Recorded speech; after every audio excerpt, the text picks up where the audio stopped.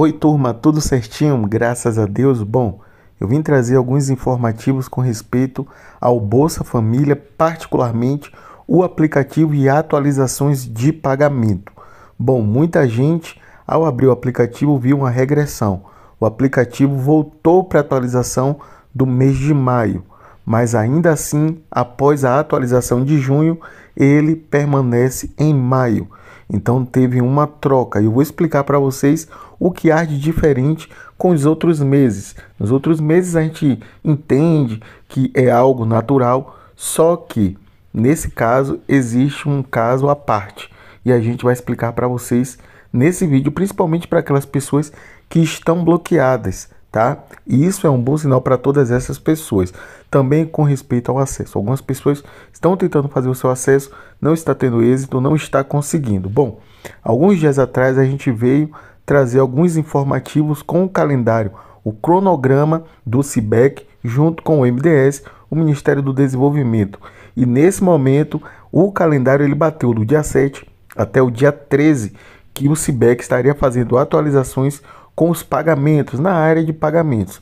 Lembrando que o CIBEC ele é um leque, ele traz várias informações e com ele também está o pagamentos e habilitação. Habilitação significa que novos beneficiários iriam entrar e aqueles que estão bloqueados iriam começar a receber já nesse calendário, mesmo ainda informando que os pagamentos começam a ser liberados. Lembrando, pagamento vai ser liberado, não significa que vai ser pago no dia 26, mas isso não impede que os beneficiários possam já entrar aí nesse novo pagamento do mês de junho.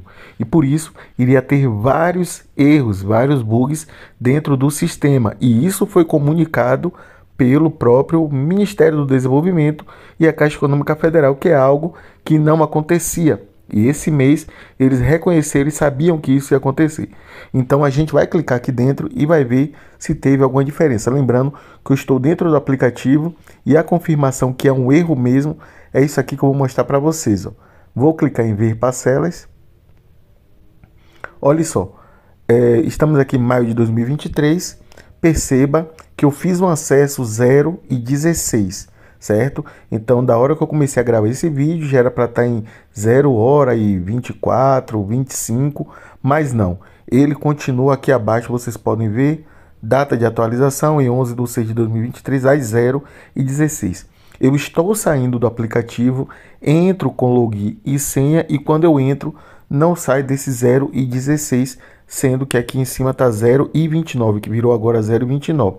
Então, se caracteriza um erro realmente. Então, se você está imaginando que você foi cancelado, foi bloqueado, então você pode analisar esse item aqui, bloqueado para aqueles que não estavam bloqueados, tá? Então você pode analisar este item. Deixa eu voltar que eu acabei apertando aqui. Beleza? Deixa eu voltar. Parcela. Olha só.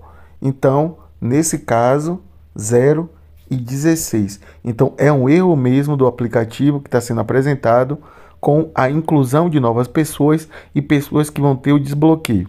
E por isso, dentro desse contexto de pagamento, vai entrar também os valores de 50 reais e aqueles que estavam bloqueados vão voltar a receber, uma maioria. Mas lembrando que o calendário correto é no dia 26 de junho, certo? E o retroativo a partir do dia 3. Então aí nesse caso, possa ser que já entre nesse calendário de agora ou de julho. Mas só para lembrar para vocês, isso tudo é um erro. Um forte abraço, que Deus abençoe sua vida em nome de Jesus e valeu.